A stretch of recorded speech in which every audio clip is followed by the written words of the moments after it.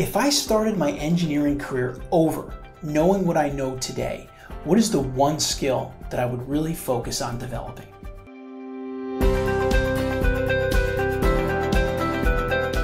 In these Engineering Manager 80-20 Shorts videos, we help engineers become better leaders. And in this video, I'm gonna give you that skill, looking back on my career. Now, if I started today from scratch as a recent graduate, as an engineer, the one skill that I would really focus on, in addition, of course, to my technical skills, which you're just gonna be building on a daily basis, I'd focus on public speaking.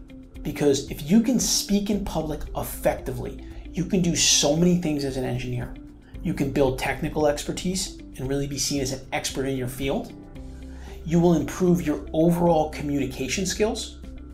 You'll be able to have very effective conversations with your supervisors about your career. And then as you grow, maybe with clients or other consultants. But the number one thing that public speaking will help you do is it will help you to build your confidence. I was just speaking with a company the other day who's going to be enrolling engineers in our management training programs. And they asked me, you know, what, what skills are the best in this program? What skills should our people really focus on?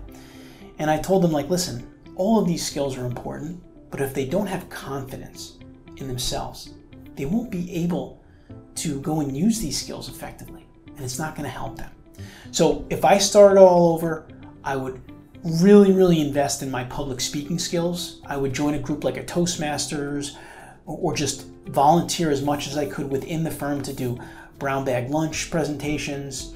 Do whatever you can to build those speaking skills, and you will not be sorry that you did. Please be sure to subscribe to our YouTube channel. We put videos like this out on a weekly basis, and we will continue to help you engineer your own success.